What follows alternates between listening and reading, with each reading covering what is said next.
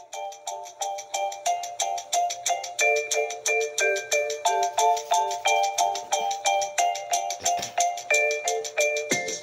It's so much going on, like the famous the Dakarai era. Mentally, I am not where I need to be. Alone over social anxiety. Music is my therapy. Writing and rapping, everything telling my own story. Taking time to reflect the feeling of being neglected emotionally by niggas that you would call friends. Everything ends, nothing is forever. Even my existence, what's the point of living being scared? If we gonna die anyway, onto a better place where you can sit and watch the film you spend your whole entire life making.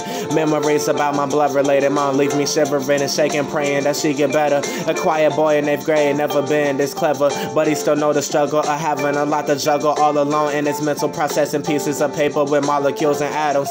Expected to be in class, know the answer way before it is given. I am not a machine. Do you people forget that I'm a human? The only reason I call myself an alien is because I'm different from all these other niggas playing video games and wasting life not living their true purpose. But that's okay because if that's what you like, then go on about it. I'ma be with Einstein, stirring up gasoline for ruckus in the inauguration era of my life. Everything from now is to stop the abomination that I created towards people who do terrible shit, but then complain when they do not get awards. Almost my date of birth, and I still don't know what I'ma do. Probably work on music to get closer to the riches and a fan base with immaculate taste. My friend Luke gave me a new book to write raps in, and every page is whiter than toothpaste, specifically Colgate. If you need me to perform, to give me a time and place a price too if you feeling generous because I do this for the love of music. The ethereal grill knows how to never abuse it or rush it, just let it flow like water from a thermal flask. And rapping, everybody do bad, even the greats. No disrespect, I'm just saying, in order to swim, you will have to be stuck in the sand and find your own way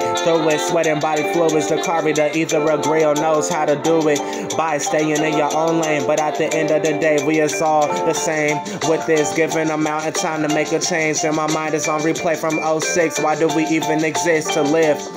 It's just life, you will get over it, don't trip. I'm a bouncer, write some other shit. Thank you for listening.